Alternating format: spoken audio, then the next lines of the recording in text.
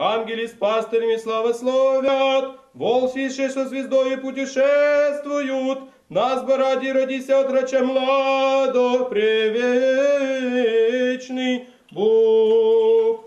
С 6 на 7 января рождественская служба проходила во всех храмах Красного Луча. Община Свято-Благовещенского прихода праздновала Рождество Христова с новым священником Анастасием. Сегодняшний день мы празднуем великий светлый праздник Рождества Христова, праздник, который более двух тысяч лет празднует православный мир. Поздравляю всех с праздником Рождества Христова и с крещением Господним. Сердце радуется, когда вижу, что на ночную божественную литургию собирается весь православный народ.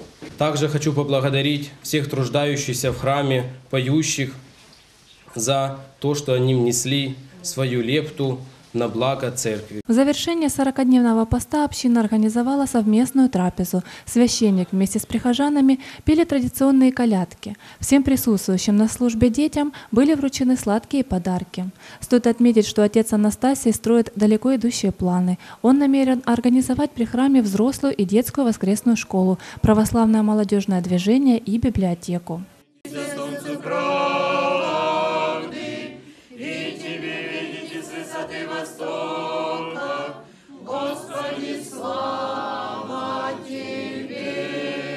За короткое время у нас в храме прошли большие перемены. С приходом такого энергичного, молодого, серьезного батюшки я очень рада, что у нас пришли перемены. За какое-то время у нас не было таких служб, но сейчас с утра до вечера у нас идет служба. И мы очень рады. Мне очень тяжело было, но сейчас я дуже рада. В Свято-Благовещенском храме богослужения совершаются ежедневно. Новости телеканала «Луч».